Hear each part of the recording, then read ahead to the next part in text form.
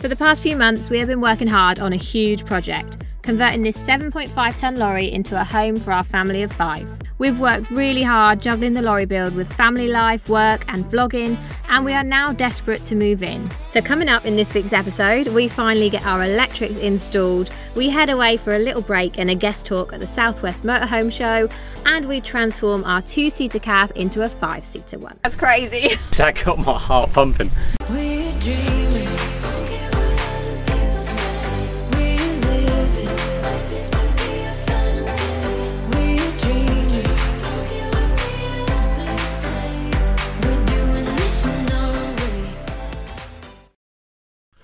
Right, I am excited about this coming week.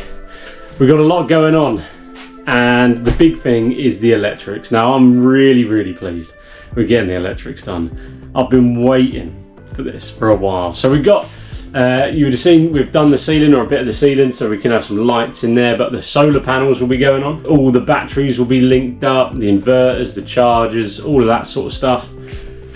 Our nice panel, which I need to make this morning, will go there. That'll look lovely. So yeah, I'm really, really excited. So that's happening today, which is Monday and then Tuesday. Wednesday, we're heading off to the Shepton Showground near Bath and we're going to be there for a good five days. So yeah, it's a really good week. I look forward to a bit of time off, refresh, collect up and then we'll come back and crack on. But I am excited for the next two days getting these electrics done. It's been a long time coming and hopefully it will just make it feel much more homely. And also, I stopped work yesterday about 8 o'clock. Quarter past 8 it was dark. Quarter past 8 so the lights in here are going to make a big difference so we can actually crack on and Keira can keep me working longer. Alright. I've already got the egg, Mummy. Thank you. I need to just get Jack, make sure Jack's set up with his next bit of learning. Hello. So we're now in September, the leaves are already starting to fall off the trees, and we're being reminded just how little time we really have left to finish this lorry. But with it being September, it is also time for the kids to head back to school, and obviously, by back to school, I mean back to homeschooling. They have had a little break over the summer, which was needed for them, needed for us to concentrate on the lorry build and not the schooling. Quite good timing, really. But it is now time to head back into it. So we've sat them down, we've ordered some school books, we've spoke to them about what sort of subjects they want to be learning. So Piper wants to learn more about her oceans and dive a bit deeper into that and Jack has decided that he is going to be learning about castles for the start of this term, which is really exciting and might involve a little field trip. So there is one subject which we all have been trying to learn as a family since we started homeschooling over a year ago, and that is French. We think it'd be amazing to speak another language, and we meet so many people all on our travels who are bilingual and can just chat away in multiple languages and we think it is absolutely incredible what an amazing skill it is to have and we to be honest are jealous at times that we aren't able to do that now that is something we really want to change, so we have had the pleasure of partnering up with Rosetta Stone to improve our French language skills and learn a few phrases which are going to be really helpful on our travels. Just like this one. Je voudrais trois croissants, s'il vous plaît. And this one. Où est le parc d'Ajou? So one of the features that we really like about the app is the voice recognition tool. Des hommes. Des hommes. Which helps you perfect your pronunciation of all your French words. Des femmes. Femmes. which to be honest I think is the hardest part about learning a new language.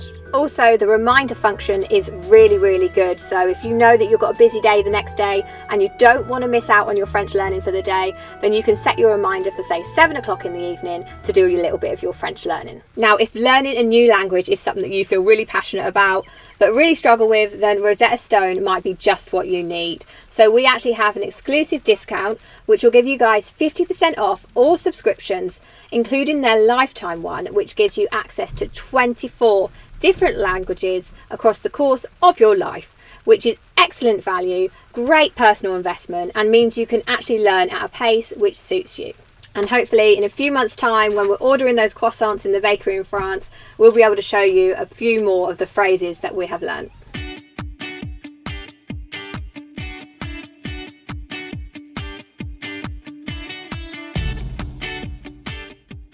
So we're at the Southwest Motorhome and Campervan Show here in Shepton. The gates have just opened, so we're just having a nice look around and it's really very busy at the moment. So we're going to go and see what we can find, see if there's anything useful for the lorry and maybe grab some food. See, that would be absolutely ideal, I think. No, it wouldn't. Why wouldn't that? It's not a proper ladder. No, that's, they're huge steps. Yeah, do we not want something that actually No, fits to the lorry though? No, it won't fix the lorry, but Yeah. they're not heavy. Charlie could go up and down. I don't know, I'm not here for it. No. I'll come out later without you. We are at a camper show today, and uh, we are going, and uh, we did some axe throwing. You haven't done axe throwing Yes, we have, No, We haven't. and we had ice cream. You haven't had ice cream. Yes, we have. No, you haven't. Yes, we These are all things you want to do, isn't it? Yeah.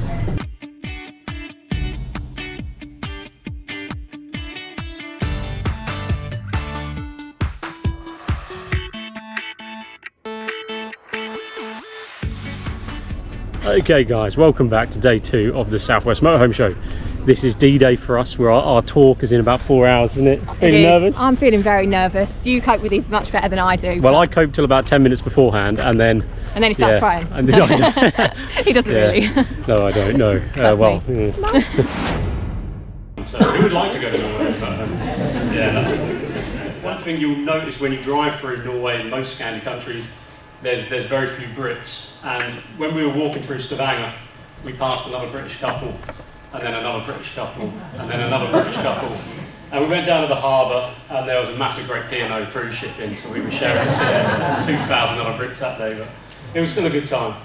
Yeah, so although Rick has said that it's a great alternative to, to the tunnel, please do bear in mind that that's a tight mountain road, um, not for the faint-hearted. There's no barriers on the side, and as we were travelling up, there was another motorhome travelling down, and it was very, very tight and pretty scary trying to not fall off the mountain.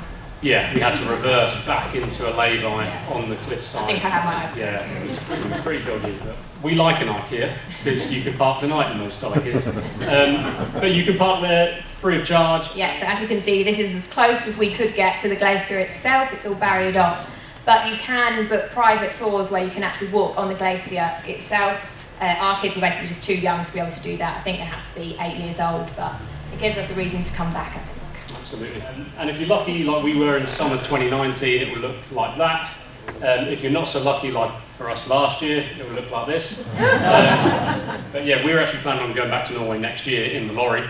So um, yeah. We won't be doing some of those mountain roads though, may Anne? I'm not ruling out. I, think, I think agree there.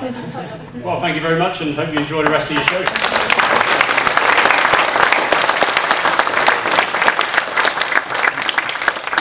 So it's the last night out for us uh, here at the show, and the kids are actually dragging us out tonight, aren't they? I know, sign of ages, eh? we're really tired, but the kids are desperate to go and see the live music, so that's what we're doing. We're not sure how long we'll be out for, but we'll see. 20 minutes. we'll see how we get on.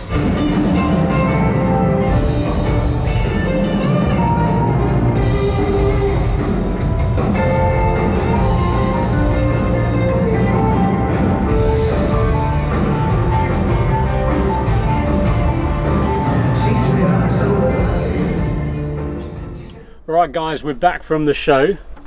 Remember these? Remember these? Hey, do they work here? They are working marvellously. They are perfect. Look at that. I'll give you that. We've got our electric sorted. So, as you can see, we're all lit up. But come and have a look inside because it looks wicked. Look at this. We have power. It's epic, isn't it? It's wicked. It is absolutely wicked. It makes it feel so much more homely. So basically what we've got, this is our little control panel. We've got USB ports down here so we can actually put six USB, there's six USB ports and two USB-Cs, we've got Yeah. two 230 volt uh, things, lots of switches. So at the minute These are things, guys. what is? Things. These are sockets, yeah. um, got three spares, and then these will come off eventually once we once we rem- remember what they were. Are we've got an LPG sensor that's not wired in yet. Water tank sensor that's not actually wired in yet properly. Truma unit that uh, we need to plug the gas in and all of that, so that will get up and running. And then we've got our Renogy screen. Look at this. So this we've got three switches, so we can actually turn the lights off, and then we can click our devices, have a look at our batteries. 400 amp hours, 99% controller. So it's bringing in nothing because it's dark. Yeah, tells us everything. So that's wicked. What else we got? We've got a little cupboard, but we'll show you that tomorrow because it is dark, so um, you ain't gonna be able to see in there. And obviously the solar is on the roof. Solar's on the roof, so we've got three 200 watt panels. They're flexi panels, and they've done a special adhesive pattern to maximize airflow underneath the flexi panels because we're flexi.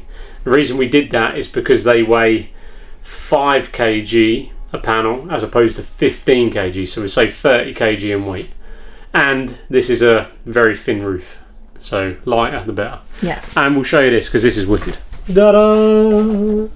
Look at that. That's a whopper, mate. Our fridge is on. And we've actually got it switched on and we've loaded it because we thought why Yeah. not? Yeah. So I took the lorry out today for a spin for an hour, and within about half an hour, all the batteries were full. Sweet. So, and it says one of the cool things on here. I'll just show you. It says how long we've got left.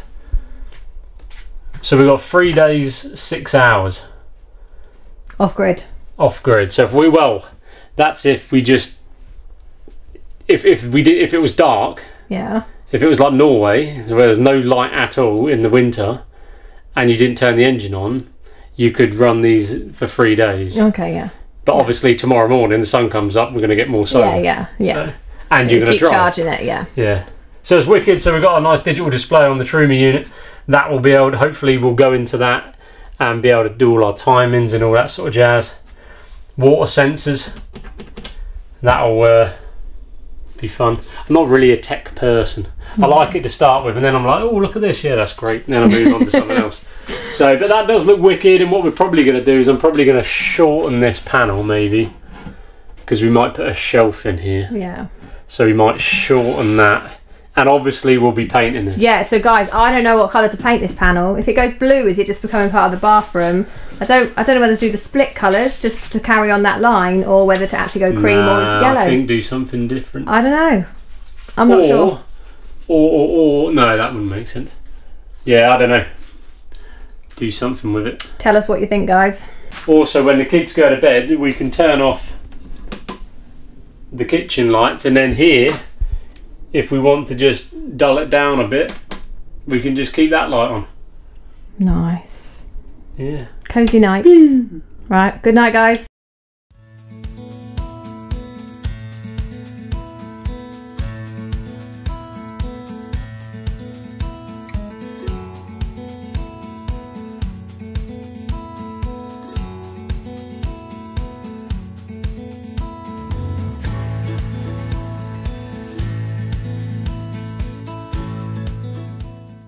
Rightio guys, we've got the rear seats being fitted tomorrow. That's going to be very exciting, taking it from a two-seater to a five-seater.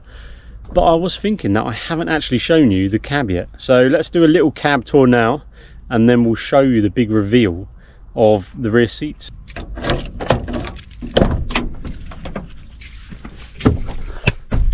Okay, so this is a Mercedes Atego 818, 7.5 tonne.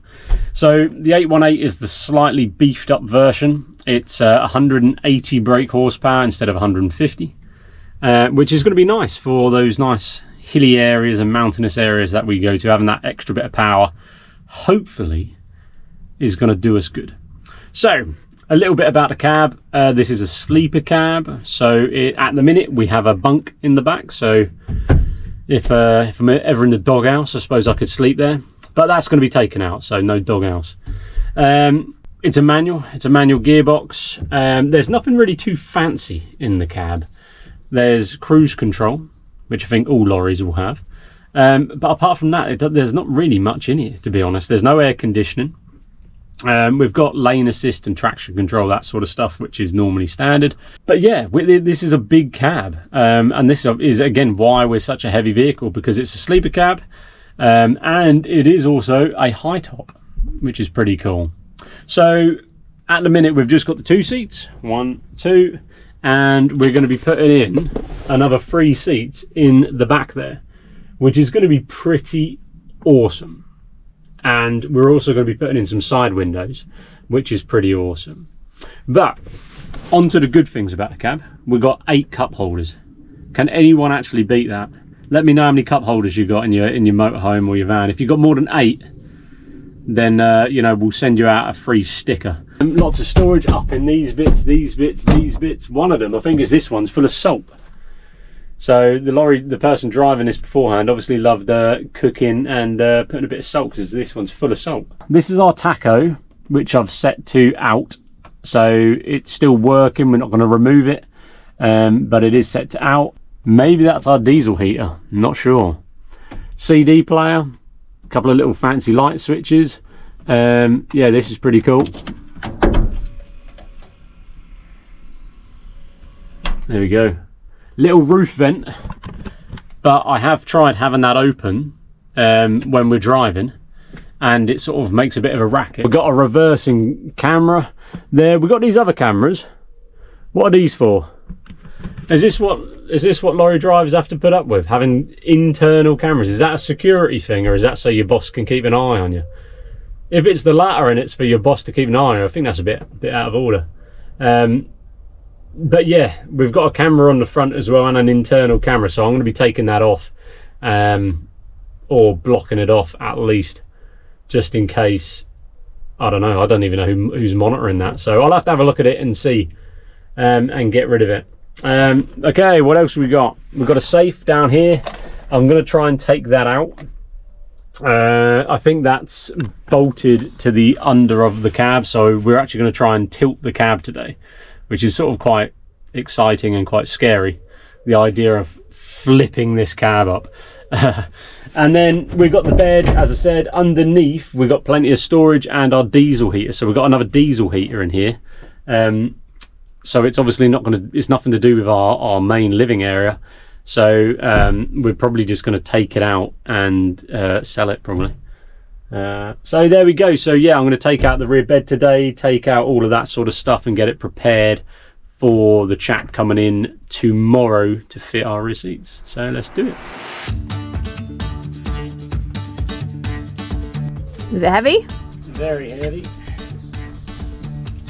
I might need a bit of a hand. Ooh. Flip flops are not there. Those flip flops again, babe. Flip flops. People keep having a go at me about my flip flops. Okay, where's my handlebar?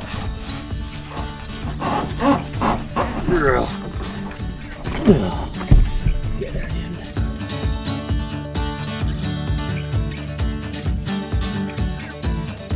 Anyone want a uh, sleeper bunk? If you do, it's yours. We've now got the bunk out um, and I've got all the framing out for what the bunk sat on. And I've got the heating ducting out. I haven't got the heater itself out. Um, I'm not sure what to do with here. Um, I can take it, the, the, it's just bolted on, so I could easily take it off, but it's got a fuel pipe plumbed into the diesel tank. Can I just cut that? Do I need to seal it? I presume I'd need like a little end cap or something to seal it. So if you've, um, if you know anything about diesel heaters and plumbing directly into the tank, what do I need to do? Do I just cut the pipe and seal it, or do I need to take the whole pipe off? Let me know what I need to do.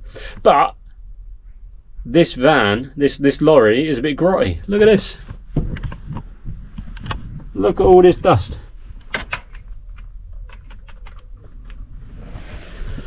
So we're having a big tidy up. Now I don't have me, me hoover because it broke. Um, so I'm to have to use uh, a brush and wipes to hopefully give it a good clean.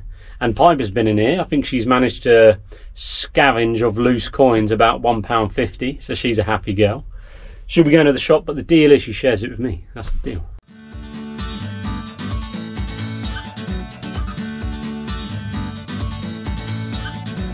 Okay, so I've had a read in a manual and we've very kindly been sent the right uh, wheel nut wrench. A huge thank you to CVAM Limited for that. Uh, which also fits a hydraulic ram on the cab.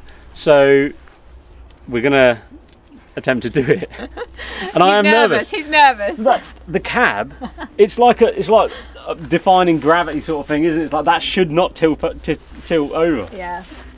You don't just want the whole thing to come off. Yeah. So there is a couple of rules, guys. Do not stand in front of the cab. If Teddy comes out, you need to tell him to go somewhere. yeah, else, that's fine. What's the cab? This Yeah. is the cab. The blue bit.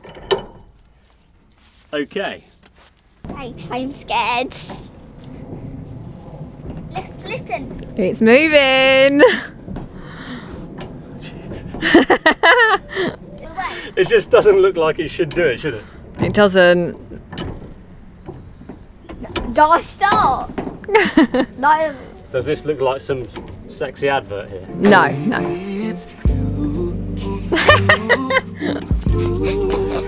If someone was in um, the cab, they'll be like, yeah. How far Look at the size of that engine. The trouble is, I don't know how far it's supposed to go. Stop. No. Don't. You're joking. I think you can go how far you can go. It's wobbly, isn't it?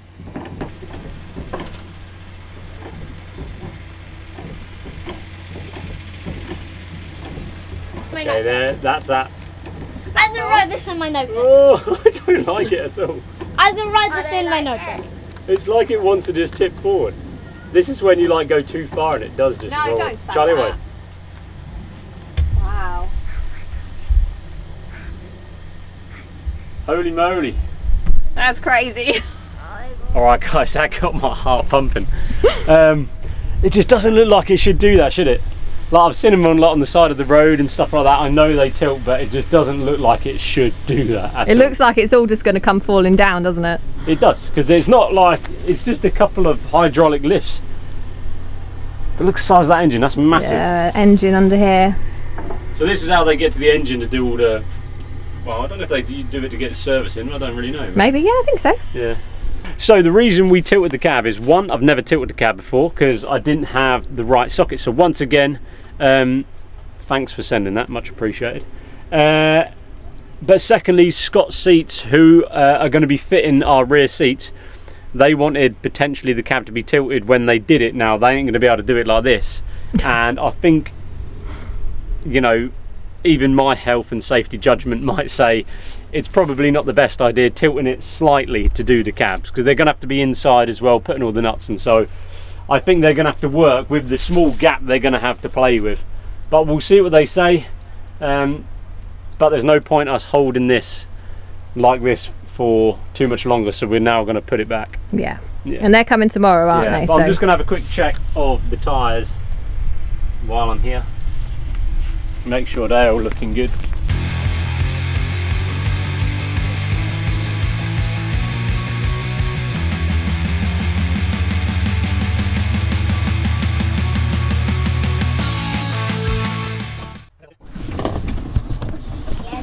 This is nice. Wow. Let's have a look. That's your seat.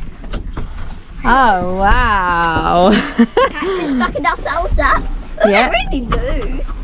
like easy to pull. Yeah. That's good. Oh, this is epic. I can't get What do you think, Jack? Good. Good? This is my seat. You're in the middle. Oh. We'll put your car seat on it. Ted, I Yeah, need car seat No, on I to make don't. it better. Yeah, no, you Mine's do. the right side. We all still need car seats. What do you think though? I want this. I want this I side. think Teddy, you will be in the middle probably. Why? Because there's not much leg space there for you. Pip. Yeah, I'm buying it. I'm buying it. Piper likes it. It's like the king position. Yeah. The queen, should I say. How do you like them, guys? Good. Good. This is my seat. This is my seat. Like them?